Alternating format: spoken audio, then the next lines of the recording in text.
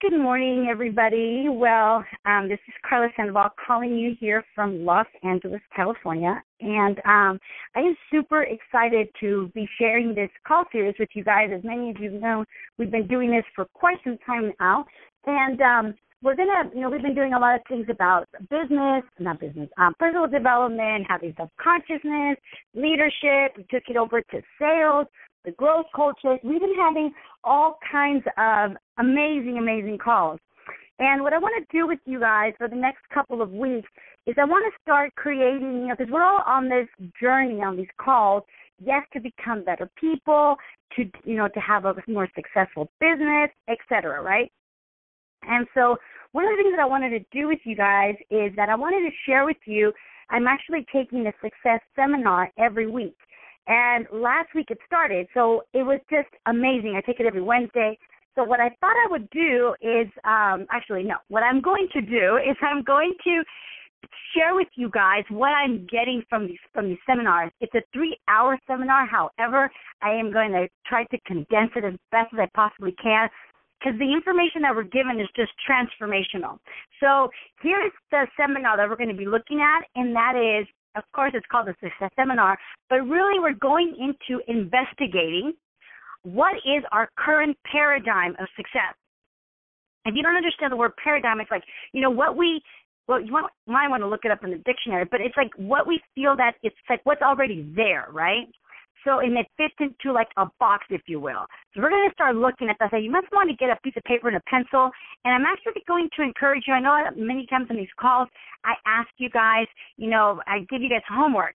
I'm really going to request for you to really take it on. And I'm not assuming that you haven't, but I'm really going to request that you really, really take it on because I honestly do believe that this call series could really start to shift um, a lot of things for many people. And what is it? What does it mean to be successful?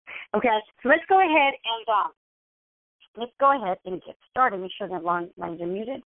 Okay, so let's go ahead and get started. So let's go ahead and investigate what is the current paradigm when we think of success. And you know, here's the thing that we want to start looking at, and that is, you know, when we have um okay, well let's put that aside. Okay, let let, let me get my head here um wrapped around here.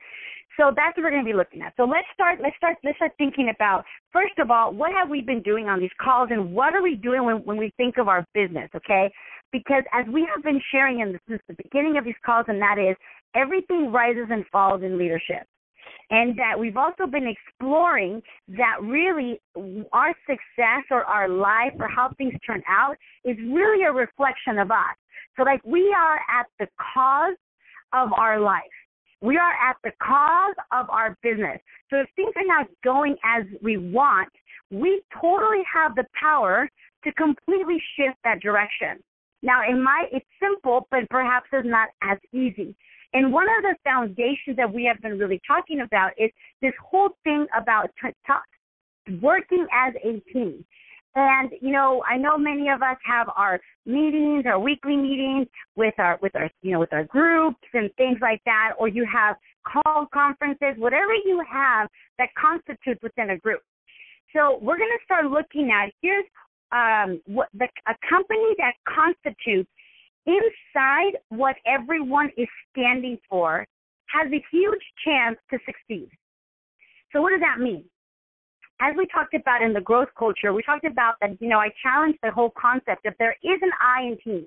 That when you can determine what is a person's personal interest, and if that personal in if that person's personal interest, there we go, is inside the team's interest, okay, we have a bigger shot at winning.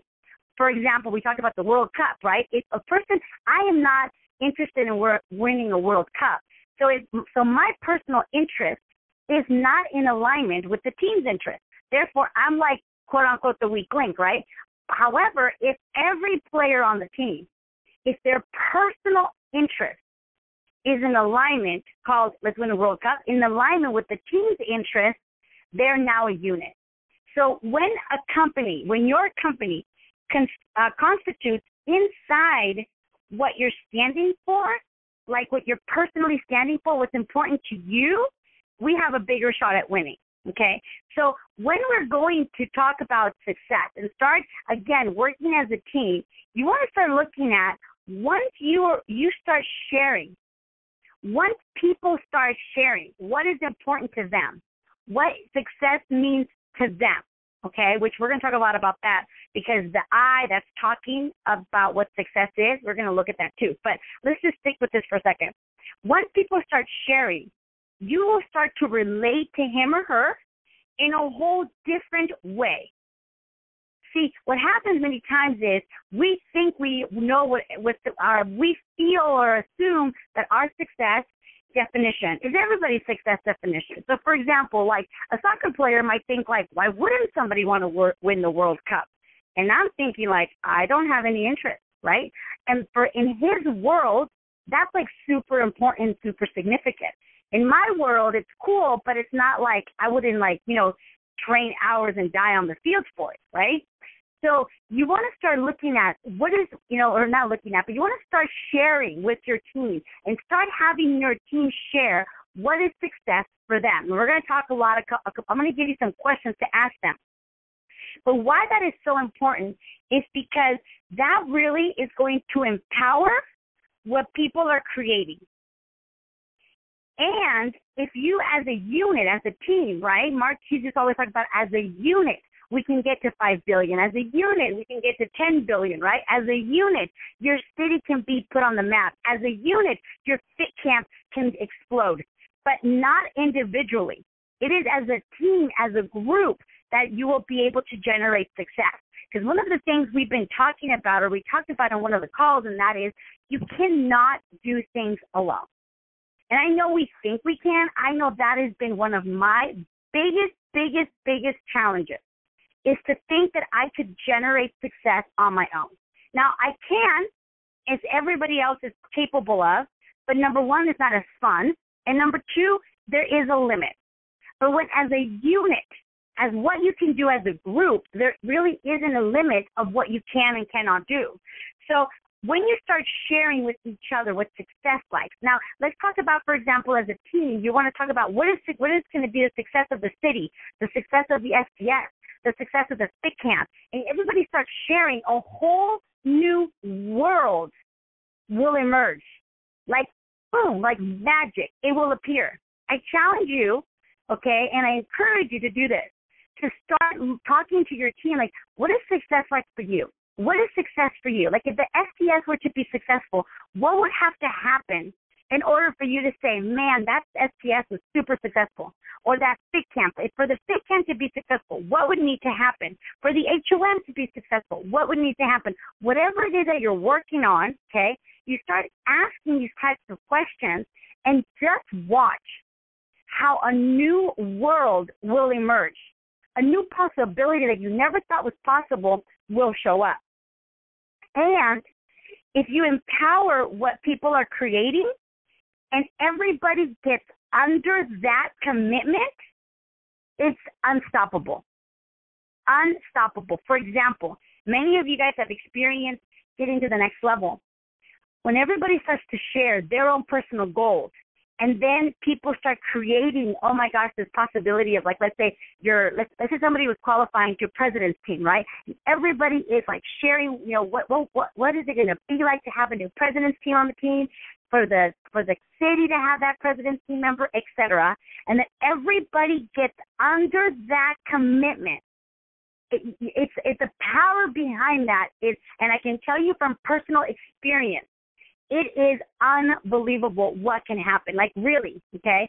So now what are we gonna do with all these calls here is start number one for you to start doing that. Start sharing. Let the new world emerge, okay?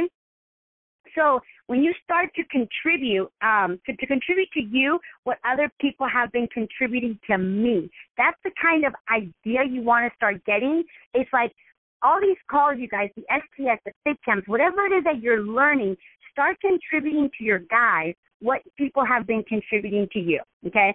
So sorry, I wrote that on my notes because I was thinking about you guys when I was writing these notes. Okay, so here we go. So let's go ahead and get started with this. Now, here's the concept. Here's a, a, a thing that I'm also going to put as a foundation of these calls, or for anything you go to, and that is the time we share at these on these calls, the time that you share at the HOM, at the STS, at the fit camp, okay, you you you want to go into that as if they're really really special, not like oh yeah here we go again, okay? Because when what happens when you show up with something like oh yeah here we go again, number one you're not present and you're like waiting for that magical moment, right? Or like you'll start having things like um oh I've already heard this before, okay? So I'm going to challenge you and encourage you to really go into everything this week. Okay, so we're talking about a new world emerging in your team, in yourself when it comes to success. For that to happen, you, well, I shouldn't say this. Hold on. Well, yeah, I'm going to go ahead and say it like this. I'll say it for myself. For a new world to emerge in my life, for a new phenomenon to boom, pop up, right? I need to show up as a different person. I need to show up not as the past, but as a whole new Karla, right? And the only way that's going to happen is if I go into things creating. Okay? So you have the opportunity to create, okay, what what is there for you. So for example, we're going to go into these calls, I want you to come to these calls and say like like like like um like with this whole children, you know, children are so great, right? Because you do anything, or like puppies. Puppies are so great. You leave their house, you come back, and they they're so excited, like they haven't seen you in months, right? Because they're creating, they're discovering you for the first time, as if it was the first time. They're creating that opportunity to be alive and happy with you. They're not thinking, oh man, it's you again. But so many of us go around life like that, right? So the first thing I'm going to encourage you to do is to show up to things this week, relate to people this week as an opportunity to create. Here's what I want you to get. There is no throwaway conversation. There's no throwaway conversation. Don't go to an HOM thinking, oh, I already heard this introduction to the HOM. I bet you they're not saying it word for word like they did last week. I bet the fit camp, the STS, is not exactly 100% the same. It's not. It's impossible. Okay? If there's one person in the room that wasn't there the week before, it's different. I want you to get that. That one person in the room that wasn't there the week before has completely changed the experience of that meeting. Even if they say, even if they don't say anything, because their energy, their space, who they are in the room completely alters the energy and the space and the creation of that room for that for that particular meeting. So there's no throwaway conversation. So don't go into things like, oh, I didn't come for this, or don't go into things like, oh, I can't wait until they get to the real stuff. I can't wait till they get to the real training. You know, somebody at the extravaganza really broke my heart because I was like, hey, what did you guys think about the training, right? And on Saturday, I thought was I thought the whole weekend was amazing.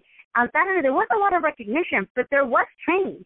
If you were present and if you were creating it for yourself, you would have gotten something from every single session if you were present and if you were intentional about capturing something. This particular person said, Oh, it was good, but I can't wait till they get to the real stuff. See, there is no throwaway conversation. Okay? It's like I can't wait till they get the real. I can't. I can't wait till they get to the real thing. No, no, no. This is it. This is it. And the universe, you know, I don't know. I don't know if you guys believe this, but the universe makes no mistakes. Okay, it will only respond to orders. So if you're thinking like, oh, I can't wait till you get to the real stuff, your brain checks out, and maybe something that was said that day at that moment could have been completely life changing, but because your brain's like waiting for something in the future that you don't even know if it's going to happen or not, you're missing uh, out on the now. Okay? So I'm really going to encourage you guys to really start, you know, being aware of that. And this is when you want to start looking at success, you know, it's a result of you creating your world. You creating what is that what does that world of success look like for me? Okay. So you know, we're going to go on this whole, we're going to go to work. There we go. We're going to go to work on transformation. So, number one, here's the first question I want you to look at. So that's, I wanted to kind of establish the foundation, but here's what I want you to look at. Number one, when you think of success, there are upsides and there are downsides. There's a whole world that shows up when you think of success. Like, for example, when you think of Disneyland, a whole world shows up you might think like, oh my gosh, Mickey Minnie, or you might think, oh, the long line, right? Whatever it is for you, that's what shows up when you think of Disney. Now, so let's think about success. So number one, write this down. You want to do this for yourself and you want to ask your guys this. When you say success, there's a world that shows up. There's a world there. So what is the upside of success? When you think of success, what is the upside of success? You want to write all those things down. Then, number two, what are the downsides of success? There's some, for example, Disneyland, there's long lines, right? So there's upsides to success in everybody's mind, and there's the downsides to success. Okay? And why we're going to start looking at this is because this is your current paradigm of what your what your what your what you think of success to be. There's upsides and there's downsides. Now, here's what's really crazy is that we're always judging our levels of success or the, we're judging the levels of success by measurements of many times, many, almost I would say always, they're not even our measurements. They're not even things that we determine. They're things that either our parents, our exterior, like we just fell into what we think is successful, right? And so we're going to start taking a look at that because when you're giving success or the, you know, for success based on other measurements, like other people's measurements of success. So like, let's say, for example, my, you know, my father loves soccer, right? And let's say he put me into soccer because he wanted to one day win the World Cup. And, you know, that's so all of a sudden that is my goal. I didn't even know I got that goal. I didn't even want I didn't even want the World Cup. But all of a sudden my level of success would be, oh my gosh, the day I get that World Cup, I'm gonna be successful.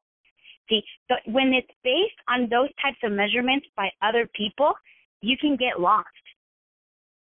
And when you accomplish them, like you go go working after them, or you know those measurements of success that you know that that now you have to deal with like the you know the training and the the the long travels and all those things become like consequences rather than enjoyment.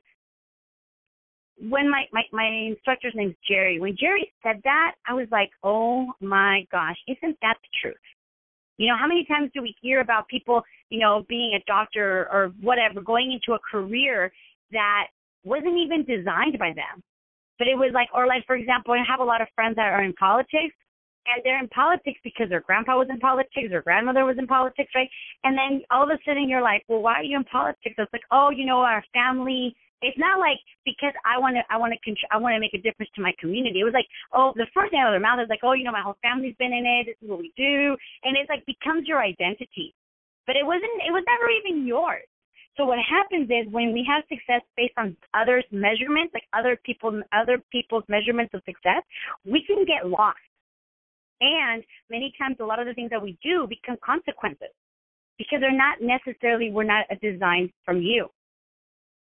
I thought that was I thought that was I was like, oh, interesting. Okay, so um, so here's when, when we start talking about when we start looking at the whole picture of success, it's never a standalone phenomenon. It never stands alone. Success is always being compared to something else. Are we more? Do we have more than this person? More or less than that person? Are we prettier or not as pretty?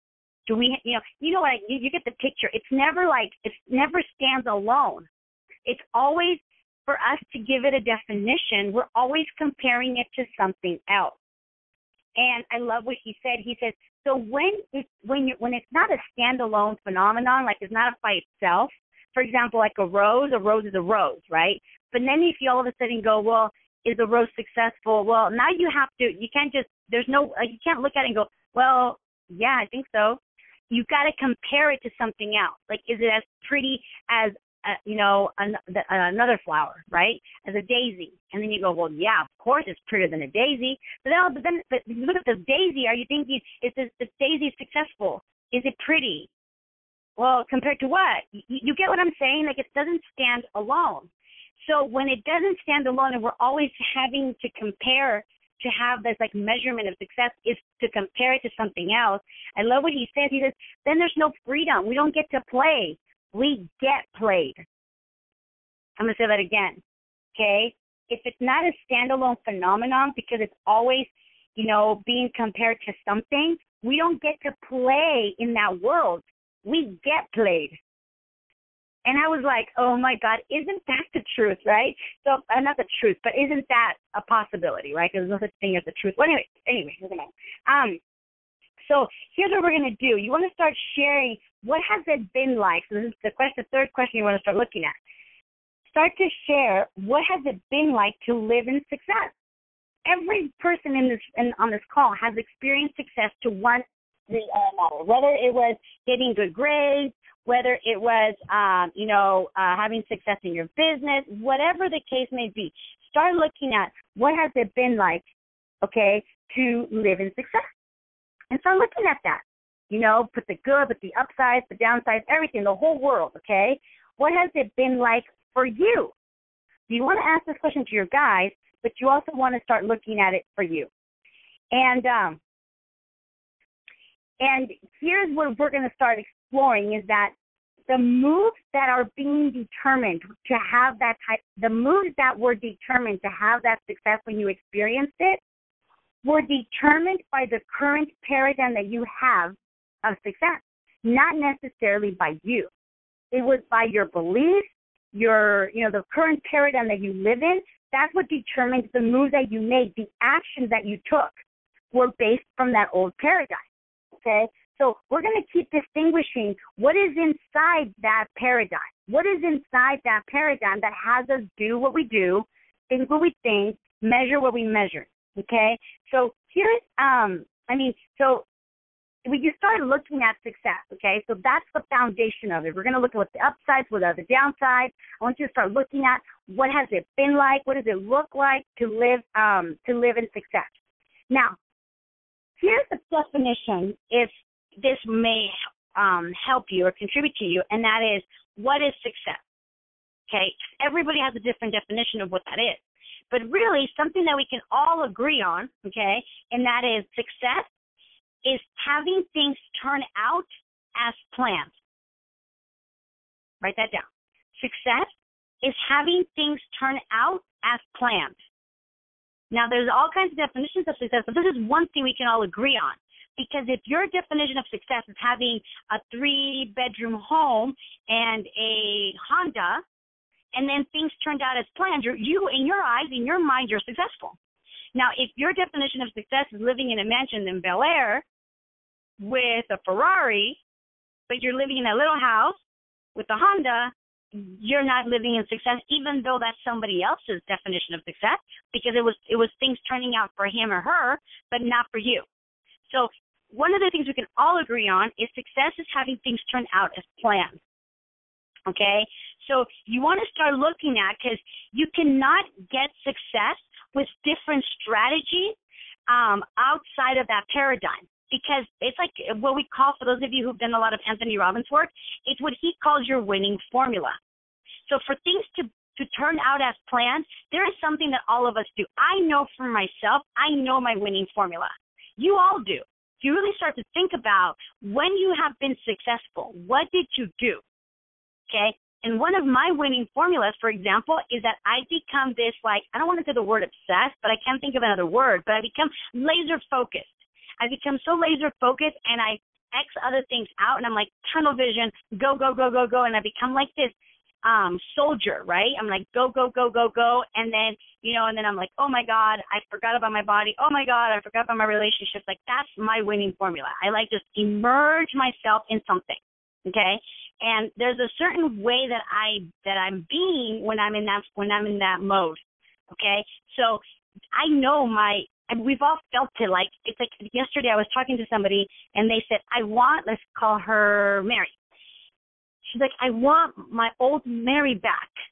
See what she was saying was, I want my formula back.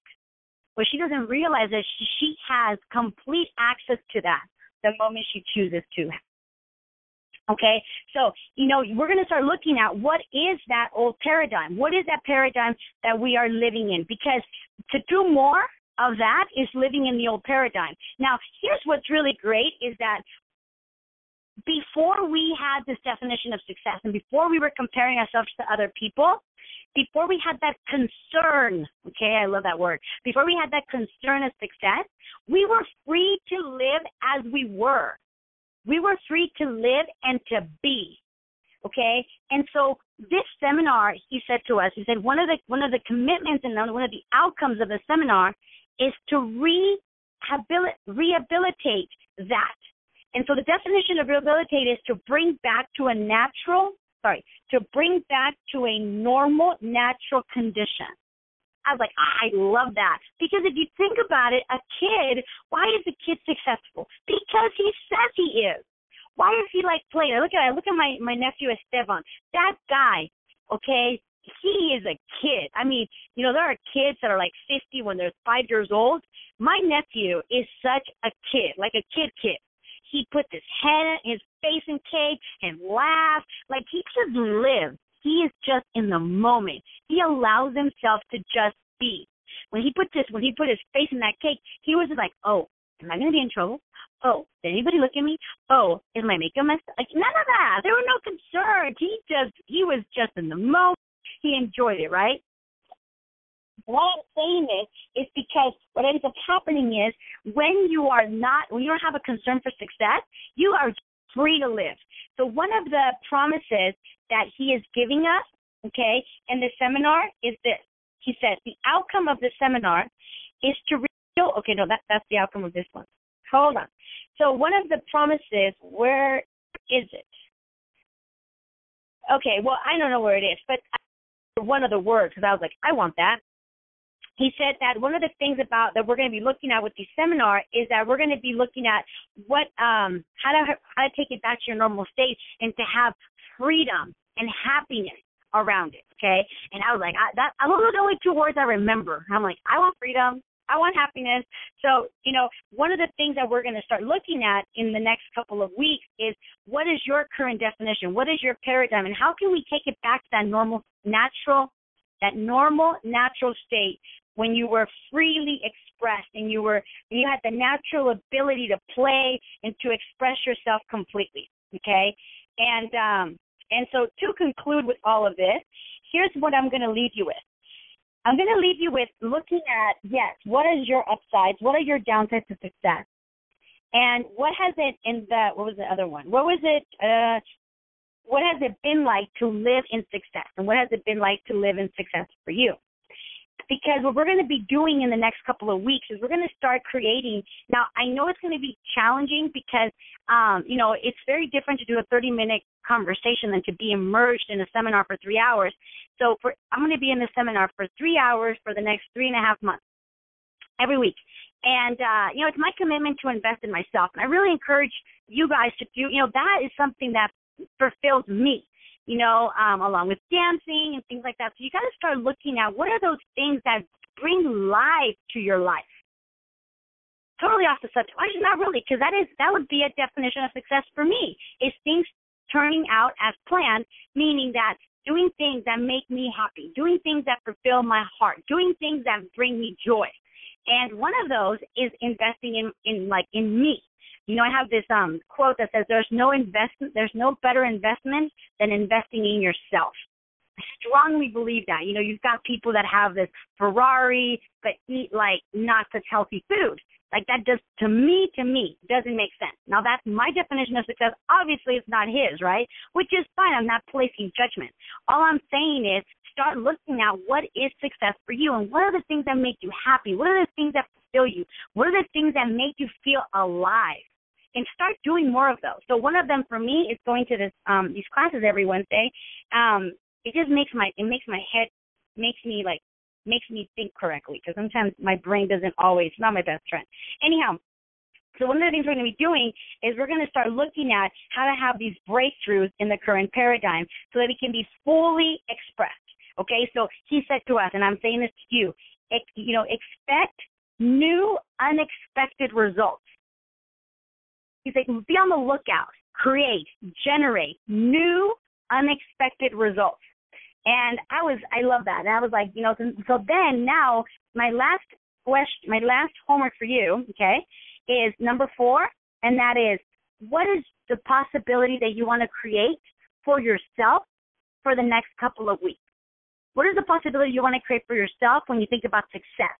Okay, and start creating. In what if you could define that new paradigm? And you could give a new color, a new world. What would that new paradigm look like? Okay, and what actions would you take inside that new paradigm?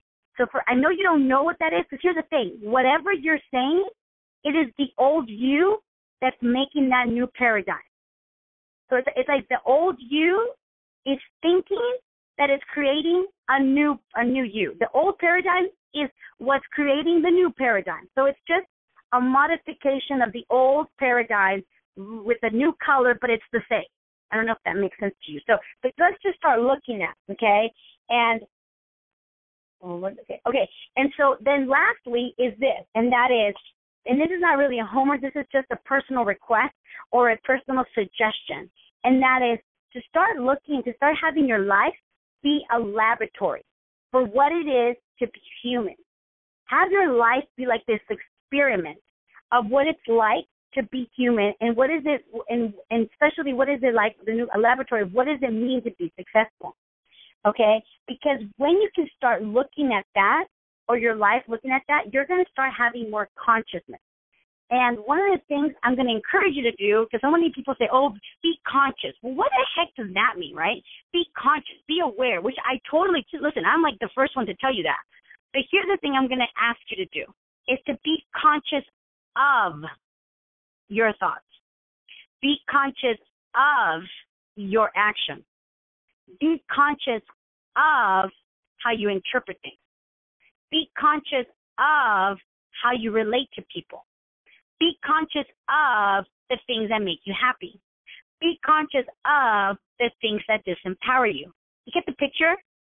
Okay, so one of the things I'm going to encourage you, and this is not a homework because it is an ongoing request that I feel that all of us should take on, and that is to have to use our life as that laboratory to discover ourselves and to discover ourselves in that world and what is it what is it like to be human what is it like to have a new realm of possibilities show up because we created them because we chose them. So um yeah with that said i don't want to it's like almost okay yeah i already oops i already went over by a minute. I am so sorry. Okay well with that said let me go ahead and um end the call and see if anybody has any questions. Hang on